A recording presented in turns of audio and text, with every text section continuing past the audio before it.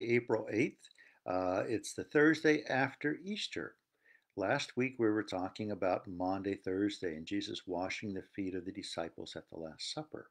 A lot has transpired in the biblical uh, account of Jesus and his now resurrection. Um, I'm going to share with you just some, some, I don't want to say casually prepared, but uh, thoughtfully prepared and prayed over things that I'm working on towards Sunday's sermon.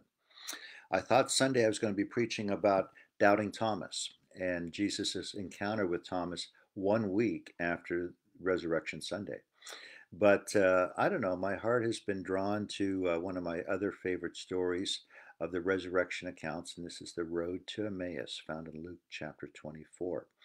Just a couple announcements before we get on with today's devotional. Uh, we are in the prime sign up se- se- um, season. It's the prime time to be signing up for the trip to Israel. Uh, the trip is scheduled for next February 18th, but in the next 60 days, it's really the prime time to be signing up and making those commitments. Um, to to to do that. So be thinking about whether you want to travel with Linda and I and others from the church. Uh, we're going to fly into Jordan. We're going to see Petra. We're going to see the place where Moses um, was able to see the promised land. And then we're going to see many of the highlights of Israel and the life of Jesus in the first century. And we're going to be challenged and reminded of the, the vibrancy, the vitality of our faith and the roots of our faith, what it means to us today, and what it means to us tomorrow. Love to have you join us. We had excellent attendance on Sunday. Thank you for those that were coming out. Many of you came out for the first time. Uh, it's great to have people gathered together in person. We also had uh, good numbers on the streaming audience, but uh, we pray as a staff that we might be better and better able to minister, to connect, and to encourage your faith and trust in God. Um, and I think those are probably the, the biggest highlights that we have going into this Sunday. Uh, we're back to a normal schedule this Sunday. Uh, we have in-person worship at 10 o'clock. We try to encourage people to be generally situated by 9.45. We typically have a little devotional period uh, before we start the uh, broadcast. It's personal, it's for the in person people. Uh, it's unique, it's special, and it prepares us, I think, for the delivery of God's word that comes in the primary service at 10 o'clock. So we welcome you, we enjoy uh, and uh, encourage you to come on out and uh, look into the Israel trip and see if that's something that you might be wanting to, uh, to do. Heavenly Father, help us today as we reflect upon your word. We reflect upon the resurrection. We reflect upon the context that uh, we read about in the Bible. We then look to apply it to our lives today and anticipate what it means to us tomorrow, past, present, and future. That is the Christian faith that carries us, that sustains us, and that gives us hope. In all these things I pray in Jesus' name. Amen. I'll summarize some of the story of, um, of Luke 24. Uh, it's called The Road to Emmaus. It's a famous story. Many of you will probably know it or recognize it by hand. Um, we're told uh, by Dr. Luke that two people, uh, some think it was two men, I think it might have been a man and a woman, two people were heading from Jerusalem back to Emmaus. The Bible tells us it was a, a little village six miles away. I'm picturing a village something like Bethany that was two miles on the other side of Jerusalem. Emmaus is, is six miles on the other side, going a little bit north and a little bit uh, west. They were dejected, they were downtrodden, they were hopeless, uh, they were walking, and Jesus joins them. The resurrected Jesus, the risen Jesus, the glorified Jesus, the new Jesus, the resurrected body that we've talked about a little bit this, this Easter season. And they did not recognize him. He asked them a question like Jesus often does, as Jesus asks us questions in our life. He said to them, What are you thinking about? What are you talking about? What is going on? They couldn't believe that Jesus was unaware and uh, un, uh, obtuse actually to the to the whole thing. So they began to tell him. And in verse uh, 13 or verse 19, I'm sorry, they said, "Well, Jesus of Nazareth." The Jewish rulers, the Roman rulers, uh, had him crucified. And for us, we thought he was the hope for tomorrow. We thought he was the Messiah. We thought he would help overthrow the oppression of Rome. We thought, we thought, we thought, we thought, we thought, and all the expectations that these two people, and I believe along with the other disciples, the other group of those that followed Jesus.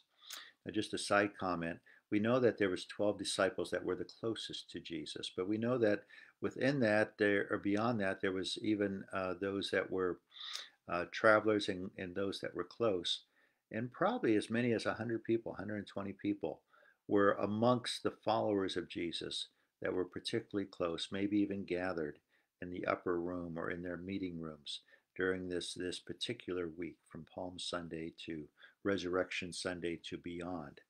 And uh, it's fun to imagine who all was in that group. These two people were part of that group. Uh, they weren't one of the 12, but they were obviously intimate, obviously engaged, and obviously close. And they said, We thought he was going to redeem Israel. Some of our women amazed us this morning when they went to the tomb and they came back and they said the tomb was empty. We were amazed. We were in disbelief even at this news.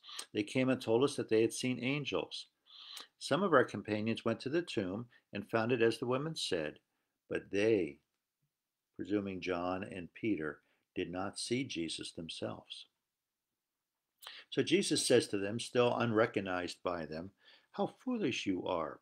How slow to believe don't you remember what the prophets have said? Don't you remember what the written word of God is? Don't you remember the strength of your faith rooted in Scripture? Did not the Messiah have to suffer these things to enter his glory? Again, the disciples and those around Jesus had little connection. They weren't able to see when Jesus said, uh, the temple will be destroyed and raised up in three days. They, they didn't see the, the need for the death of Jesus so that there might be a resurrection that, that conquers death, that conquers sin, and opens the door for all people. That wasn't uh, that wasn't clearly relevant or understandable. Uh, isn't that the way life is? Just like these two travelers had trouble seeing and recognizing Jesus, we have trouble seeing and recognizing Jesus. And even though Jesus is with us, Jesus is engaged with us, and Jesus cares for us, we often do not see him present with us.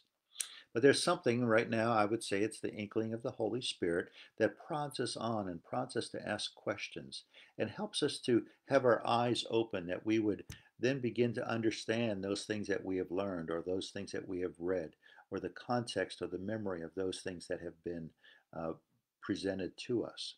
In this case, Jesus tried to prompt them in, in thinking about their spiritual and religious heritage, their learning of the Old Testament scriptures that were pointing to him as Messiah. Not a Messiah that was political, but a Messiah that was spiritual, uh, a Messiah that was life giving to our very soul and our very spirit. I think that's important because when we look at these two travelers, they clearly lost hope. They went from having high hope to having no hope. They didn't understand Scripture. They trusted and uh, uh, believed in Jesus, but then they were disappointed. And they were probably on the edge of being cynical. Have you ever been on the edge of being cynical? Uh, if I preached the story on doubting Thomas, he was clearly a cynical, uh, feeling betrayed, feeling disappointed, feeling like all that he invested himself with enthusiasm had now turned south and turned sour. Have you ever felt that way? Like these travelers, I think we can relate to them because they had lost their hope. Even though the tomb was empty, their ability to believe, to reignite that hope, that, uh, was, was being held back, understandably. Hence, they wanted to see and to touch and to feel, just like Thomas. They wanted to see and to feel and to touch Jesus themselves. They'd lost their hope. They also lost their joy. They lost their gladness to life. When things are going good and we feel like we're, we're connected to God and to others, we have a certain gladness or joy that comes from the inside out. And in this case, the travelers that we are looking at, considering, and reflecting upon had lost their gladness. They also had lost their desire to do or to be anything more. We need desire to motivate us. We need desire to, to carry us forward. We need desire to, to give us a vision for which we are looking forward to. And I think one of the consequences of being hopeless is that we also lose our desire to be and to do what needs to be done. Hence, we become self absorbed and self turned. Now, what happened? What did Jesus say and what did Jesus do? He explained to them the scriptures. He explained to them the relevance of Moses and the prophets, and uh, it, it came alive. We were told in Luke 24 that this was a seven mile journey. Well, if you walk two miles an hour uh, up and down the hills and uh, for a sustained time, this is probably a three to four hour walk. If you walk three miles an hour, it's a two and a half hour walk. Regardless, it tells us that Jesus and these travelers had some time together. And Jesus began to share with them as they began to have their mind and their hearts. And now, we as humans are body, mind, and spirit.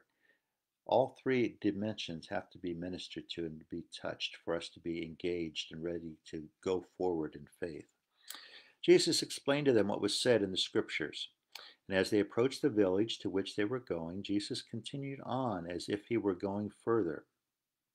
They urge him strongly don't keep going. Stay with us. Have dinner with us. Have some food with us. It's not a lot, but you can have what we have and we can share and we can keep talking. When he was at the table, Jesus took the bread. Get this. He took the bread. He gave thanks. He broke it and he began to give it to them. At that moment, their eyes were open and they saw that it was Jesus, their Lord. Friends, I can't help but notice the, the reference, it seems to me, at the feeding of the 5,000. What did Jesus do with the, with the five loaves and three fishes? He took their gift. He gave thanks for it. He broke it and consecrated it and thanked God for it and began to distribute it. Whenever we are in need of nourishment, Jesus is there to take the bread of life to break it, to give thanks for it, to consecrate it, and to allow it, to help it, to enable it to meet and nourish our needs, both in spirit and body. As their eyes were nourished by the presence of Jesus, their eyes were open and they saw that indeed God was with them, Jesus was with them. Each of us along our life's journey sometimes go through life knowing that Jesus is with us or not knowing that he is with us, not seeing him. But then all of a sudden something happens. I think the Holy Spirit pricks our, our, our sensibilities and we see who it is that is with us. In this case, they saw it was Jesus. They got up and uh, returned because Jesus soon disappeared. He counted on them, he relied on them to go back and tell the others what had happened. Friends, Jesus nourishes us, touches us, then asks us, expects us to go and tell others. We see before the ascension that, that Jesus says, Go and be my witnesses to all the world. Go and tell what you've seen and what you've experienced. On Sunday, or on last Friday, Good Friday, we said, Were you there when they nailed him to the cross? And then on Sunday, we sang uh, Because He Lives. And part of that is because He lives, we can face tomorrow. Because He lives, we know without doubt that He is with us. How do we know this? Ultimately, we know it in our heart. Our life has been touched, our life has been changed, our life has been encouraged. So even though there's things like facts and there's things like reason, it's really an experiential touch by God that opens the soul of our heart, the eyes of our heart, that we would know Jesus in the real person.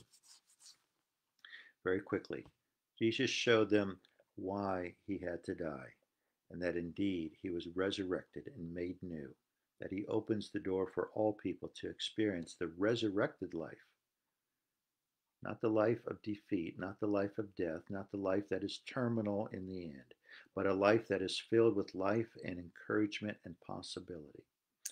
Jesus led them back to the written word of God where they were rooted and re anchored.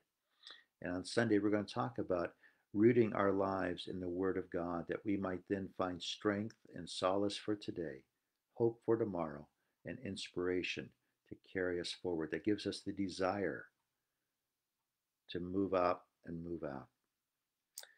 Jesus leads them to the table. And it's always at the table of God, the table of Christ, the communion table, the sacramental table, that we encounter Jesus in a very special and sacramental way, not just in person, but in spirit. Body, mind, and spirit. We're reminded of what he did. We're reminded that he's with us today and continues to intercede for us. And while the eyes of the world were on Jesus, his eyes continue to be among us. And then we are reminded of the promise that Jesus has given his disciples and he's given us that he will come again and make all things right. But in the meantime, we have the seed of the Holy Spirit in our lives that we can develop, that we can cultivate, and that we can already begin to experience the kingdom of heaven within us. But then the final word Jesus says, Go and share and tell others that they too might be encouraged and find hope and that I am alive, I am resurrected, and I offer life to all things. I am the resurrection and the life. He who believes in me will not die in spirit or will live forever in a world that is a better place, a world of hope and encouragement and promise. And that's what I leave with you today. Be refreshed, be renewed, be revived, and be resurrected in your life today and tomorrow. Dear God, this is just a brief devotional. It's giving rise and giving structure to the sermon to come. But I pray that each person here might be encouraged, even in the reminding of ourselves, that Jesus is alive, that Jesus reaches out to the those with no names. Jesus reaches out to all people. And as we begin to listen, our eyes are open and we see Jesus, the resurrected Messiah the Son of God, the Son of Man, God incarnate, for you and for me. In Jesus' name, I pray that you would be blessed and that you would have the best day of the rest of your life right now, today. In Jesus' name, amen. God bless. I hope you have a good day, and uh, we'll talk to you on Sunday, if not before. We look forward to seeing you. Bye bye.